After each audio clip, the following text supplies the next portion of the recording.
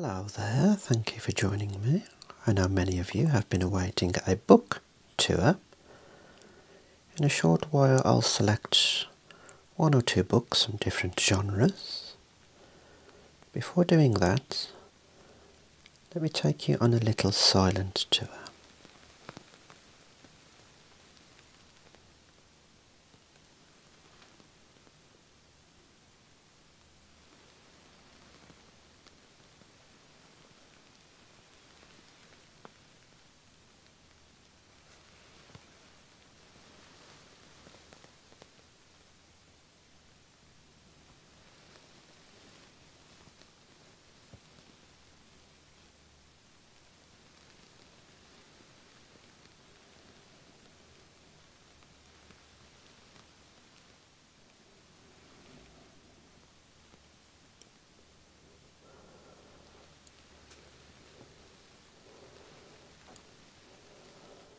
So as you can see there are quite a few books. We're always adding to the collection. Interestingly, this collection isn't complete. We do have one or two books still wandering around in different locations, but eventually we'll bring them all together as one. Okay, so let's select some books and see if we can generate some ASMR just by showing you them and discussing a little about them. We're going to start our journey in this area here where we have some wonderfully designed sprayed books here. You can see there's been a lot of thought that's gone into creating a beautiful looking book. So let's take the first one here. Now this is The Invisible Life of Addie LaRue. Okay, first I'm going to take a look at the floral design there. There is the front cover for you. Now I'm going to read you the brief review from Neil Gaiman. For someone damned to be forgettable, Addie LaRue is a most delightfully unforgettable character, and her story is the most joyous evocation of unlikely immortality. This was a Radio 2 book club pick, I'm not going to give too much away about the plot, if anything. But that's one I want you to consider, please.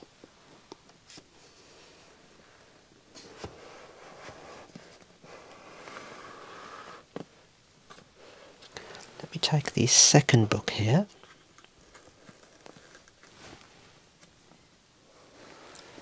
Red and white floral design. A little look there. I think you're going to enjoy this one, I very much did.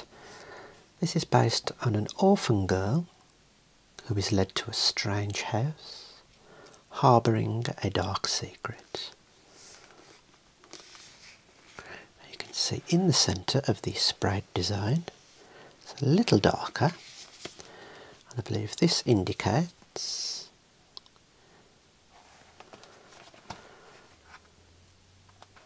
where the images are located. Some unusual artwork there. As you can see, it's a beautiful design. Stunning artwork. Looks rather malevolent. And one of the reviews says a haunting and beautifully tilled garden of darkness.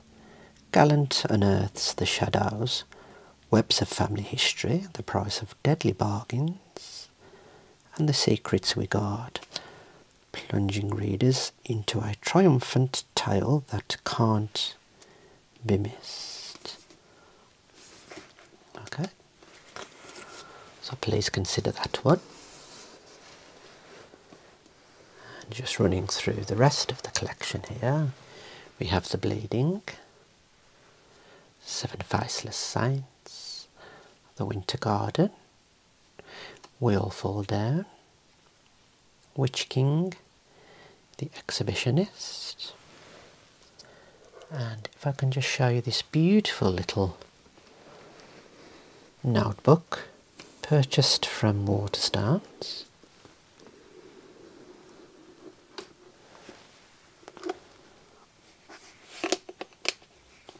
Okay, we have the attachments there.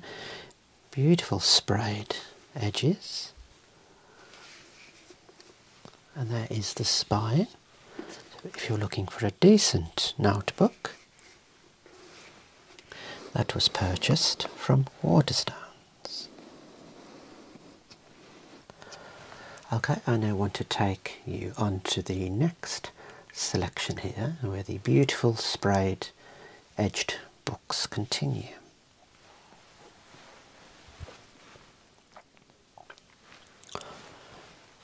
Okay, on to the next selection. There are three particular books I want to pull out and recommend to you. So the first is Some Desperate Glory by Emily Tesh. You can see the space themed sprayed design there.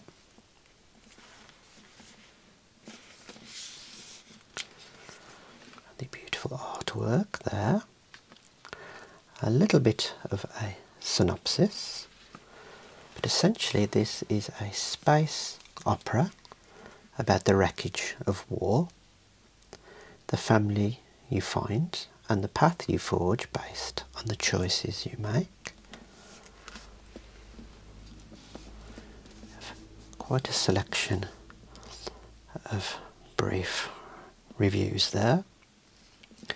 Some desperate glory swoops through space and time with effortless precision, never pulling a punch or settling for an easy answer. There's nothing else like it. So I think you're going to enjoy this one.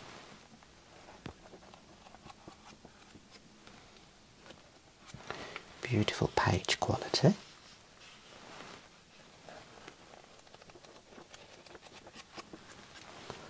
That'll be a very good read for you.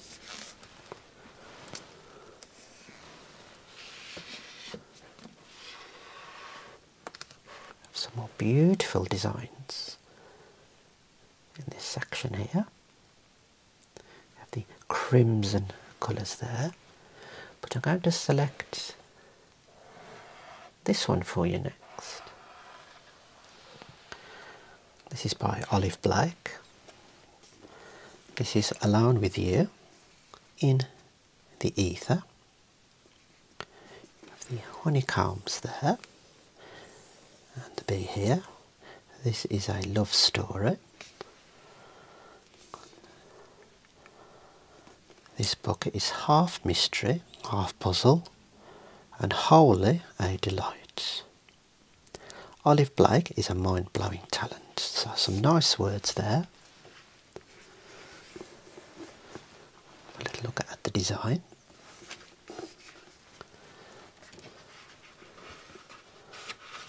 Signed by the author there, printed signature. Lovely page sounds. Okay, so about the story, a glimpse into the nature of love, what it means to be unwell, and how to face the fractures of yourself whilst loving like you're not broken. So that's another one I'm going to recommend for you.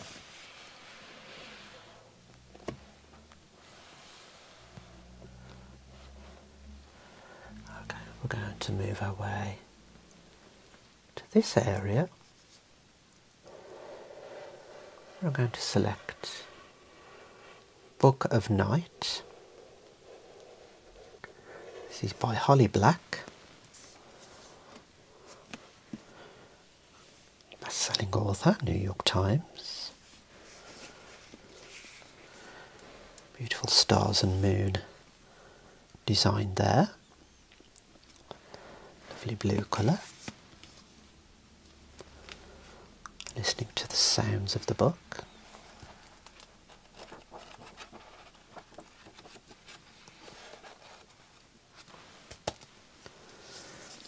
Okay, we have some nice words there. Now, what is this one about? Living in a world where shadows can be altered, Charlie Hall is trying to escape her dark past. However, a figure from that dark past returns, throwing Charlie into a maelstrom of murder and lies.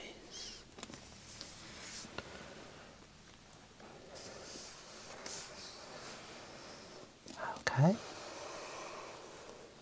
And I have to show you some of these sprayed edge designs. They're very beautiful. We have only a monster there, can kill a hero, Vanessa Len.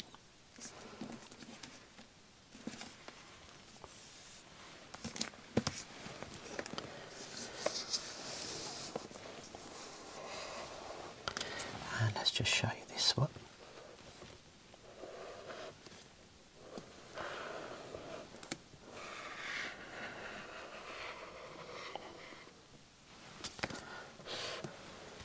Okay, by Emily Hart. We have the beautiful designs there. They try to cage us, but a Weyward woman belongs to the wild. We cannot be tamed.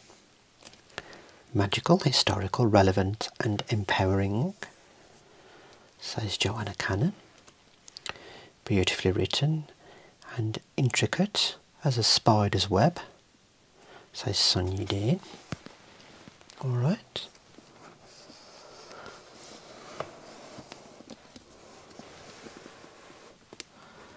Okay, let's move on to a different section and different genre for you.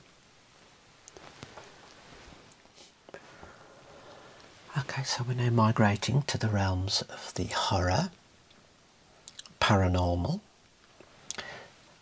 mythological tales, true life stories, and a little bit of fiction thrown into the equation. Things aren't perfectly arranged, so don't beat me up too much. Just starting with the current book, about three quarters of the way through. Don't really need to tell you much about Gears of War. You've probably played it on the Xbox. So that was the first in the series there. Aspho Fields. We have the second here, which will be my next read. We have Jacinto's Remnant, Marcus Phoenix there. Essentially, it's based on the blockbuster Xbox game, the stunning story of the men and women who stood between a planet and total destruction and now have to face the consequences of their actions. Stop the locust horde. So very much enjoying the Gears of War there. Fiction here. Jeffrey Deaver. That's more of a murder crime type. Some night terrors here.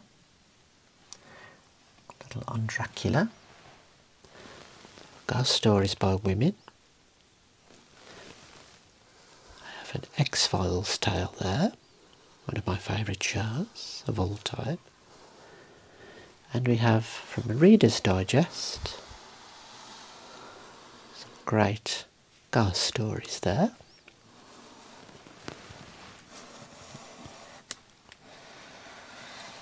Okay, a recent read was this anthology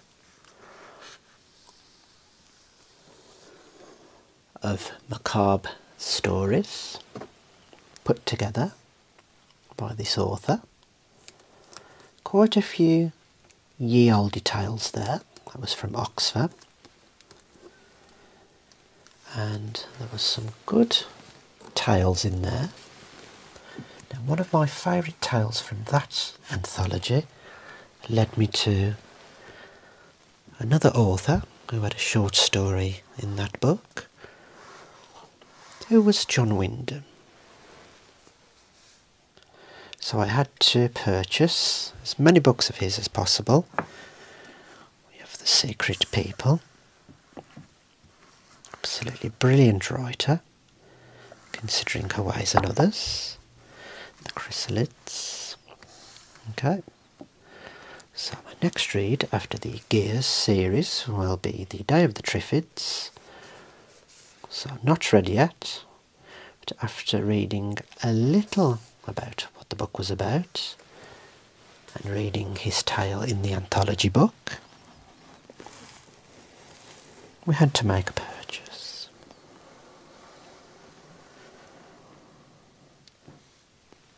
Okay, we have some more fictions here. And we have a little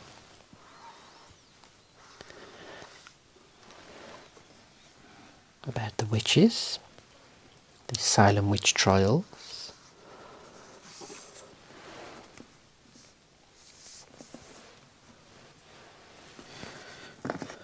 And we have the hardback from Stacy Schiff, Salem 1692. Very fascinating reads.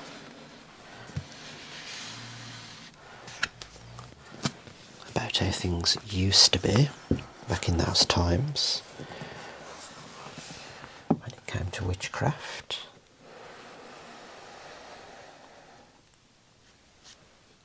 Okay, let's move down to this lower section to show you some more interesting books. Okay, in this lower section it is quite mixed. Some of my childhood nostalgic Goosebumps books there. I am trying to build the collection back up. I did have many more as a little boy, but some were sold, given away. But I'm going to build those back up. We have the medical books here. To do some reading around optometry and the medical world. Uh, Kanski here is the the ophthalmological Bible there. My very old clinical procedures in primary eye care. This is where I can bring you many of the techniques that you see in the medical videos. We have Snell and Lemp's, clinical anatomy of the eye there. A little bit about the Perkins tonometer. This book was given to me as a gift in India. Eye manual there, so you can search up any condition, most conditions of the eye, find out a little bit more information. A few optometric magazines there, medical dictionaries, normal dictionary. Recent read was Norse myths that inspired Final Fantasy VII, probably most favourite game created. That was an interesting read if you want to discover how what was featured in Final Fantasy linked to Norse mythology. Now we only have two autobiographies here. I do have many more in a different location, but the two I have here, I have Roy Keane's one there, and a recent read was The Storyteller by Dave Grohl. excuse the coffee. Tales of Life and Music. A very fascinating read. Obviously a big Foo Fighters fan. Fortunately we lost Taylor Hawkins last year. This book was written I believe a year or so before his passing. So there were some interesting tales of Dave and Taylor. There is a young Dave Grohl with Kurt Cobain. So it very much follows his stories and interesting tales that he encountered from his childhood to where the Foo Fighters are now. Absolutely fabulous book there. And as I said, we have some goosebumps. As a child, I was always reading horror. We have some here. R.L. Stine, very popular in America. Not in order. But I'm sure these are going to be nostalgic for many of you. And one of my favourite Goosebumps books, if I had to select, would be Beware the Snowman. Sherpia is a cold, cold place. It's a tiny village on the edge of the Arctic Circle where it snows a lot. Jocelyn has no idea why her aunt decided they should move there. But it's not just the snow that freezes the blood in Sherpia. There's a hideous howling noises at night. The scar-faced snowmen in front of every house and sometimes on top of the mountain something that seems very something that seems very interested in Jocelyn. Okay, so that's that section there. Let's move on to one more for you. Okay, so we can't leave without showing you some Stephen King novels. We do have some concealed round here. We have The Green Mile and we have Lisey's Story, Pet Sematary, It and Skeleton Crew there. Some quite old designs here. So there is it. You will know about that story. I need to say too much about that.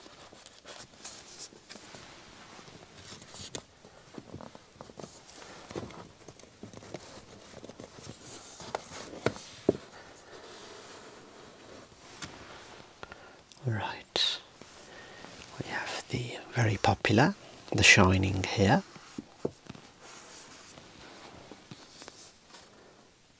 And a very old design there. Quite an item. Welcome to the Overlook Hotel. You'll never want to leave.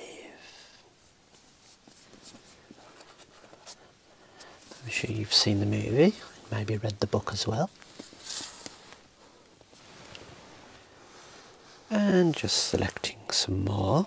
We have the cell, Doctor Sleep, Revival, Gerald's Game, The Institute. Let's just show you Doctor Sleep. There's the front cover. A powerful sequel to The Shining.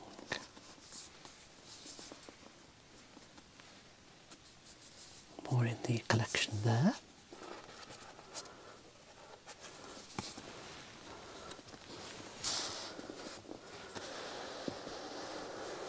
And then we have the Dean Koontz there. Alright, so I hope you've enjoyed seeing some of the books from the collection. I didn't want to give too much away in terms of plot in case you're planning on reading some of these.